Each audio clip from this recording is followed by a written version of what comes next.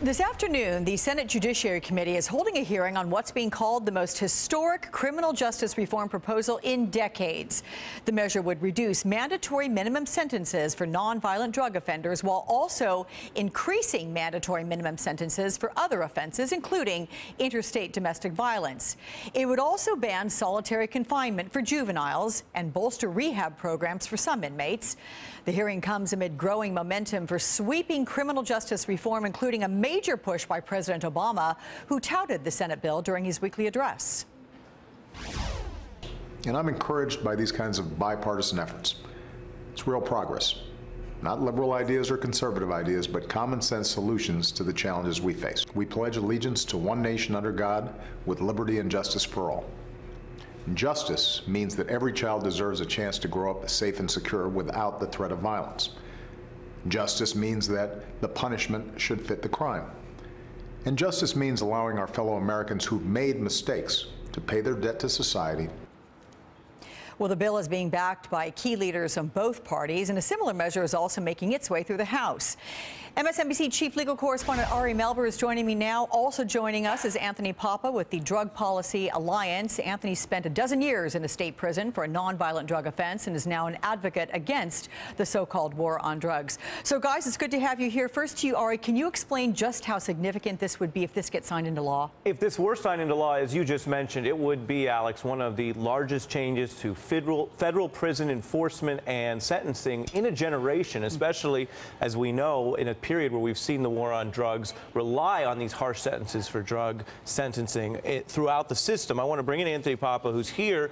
We've spoken to policymakers today about this. We're speaking to you as someone who's been through it uh, in New York. Tell us about your story. Well, I was a first-time nonviolent offender uh, in 1985. Made the biggest mistake of my life. Got involved with drug activity. I, I passed an envelope with four and a half ounces of cocaine to undercover officers for the sum of $500. Uh, for that, I made every mistake you can make, and I wound up going to prison. I was sentenced to 15 years to life.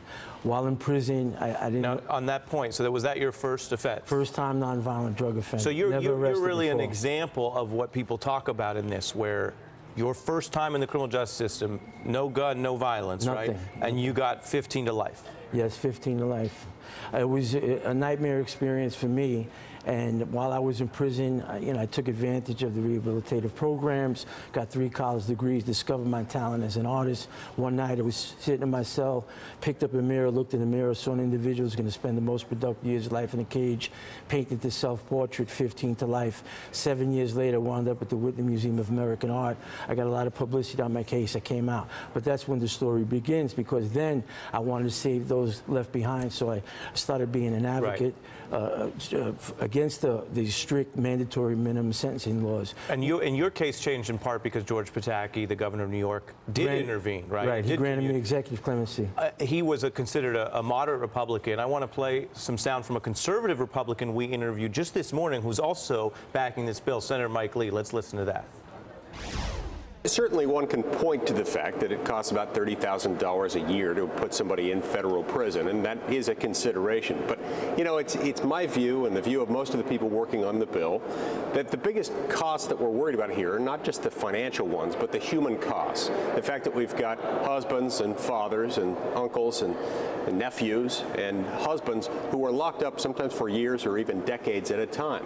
In many instances, locked up much longer than they need to be locked up in order to protect protect the public and serve right. the interest of justice. What, what, does it mean to you to hear a, a, Tea Party Republican there talking about kind of your situation? Uh, family members locked away for what he says is too long. I think it's fantastic. I think it's a, a first a good step. Uh, we need more to be done. But to do away with mandatory minimum sentencing, it's a great move. It's going to save a lot of lives, people returning to society who are ready to return as, as citizens. You know? And and the last thing I just want to ask you briefly is what, what do you say to young people who, who look at your story or people who, who don't have hope um, and are worried about all these problems? What, what do you say with everything you've been through? I say people make mistakes in their lives and they need second chances. So I, uh, President Obama, I, my hat is off to him for trying to do away with mass incarceration and I hope people uh, uh, uh, follow the steps that are going to reform these laws and help people to come home to return to their families. Right, which you, which you were able to do, but after a long struggle and journey. Anthony Right. Papa, thank you for sharing your story with us today. Thank you so much. Back to you. Yeah, you know what I like about that? Look at Anthony. He went and got a college education a couple of times over. I mean, good for you for, for doing the most you could during your time there in prison. Anyway, guys, thank you so much for that discussion.